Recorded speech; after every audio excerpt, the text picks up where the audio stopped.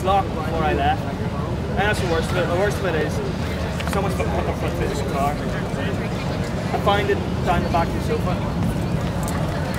That was in the room locked as well. Like what what is this? What's going on man? Like you must you were the only one there who actually lives in the house, so I mean how, how did this happen? I mean how many people were there? It's a party like this is what time. Is that you go out you go out every like uh, in the night and then you get really pissed and then suddenly it's you know invite everyone back to Dan's house, you know, I, I can't be happening this year. Seriously. I, know, but I'm like now it's like my guitar. What? You may not have touched it, but you should have taken responsibility for who was there. Not, it's, it's just not fair to me. Like, like, like last year, you know, it's all funny games. Like last year, whenever that TV got broke, fixed TV, like I felt really bad about that. Like I gave money and all for it.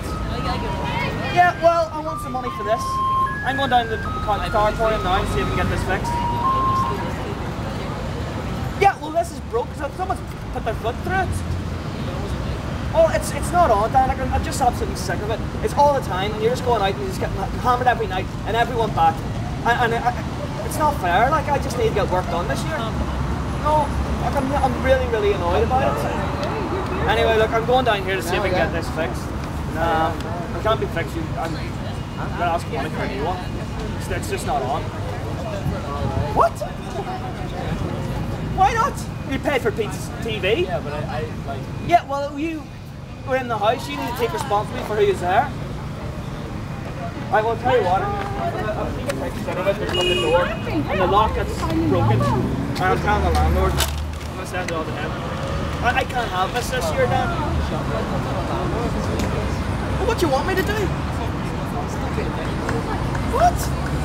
Look, I, I can't go on this year. The reason I went home last night was that I had stuff I needed to get done for today, and I knew it wasn't going to happen in the house.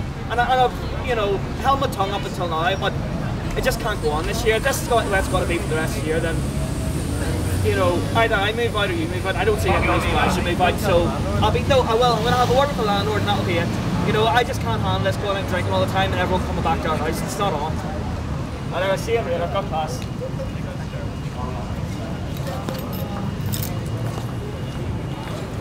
Guys, this has been a performance.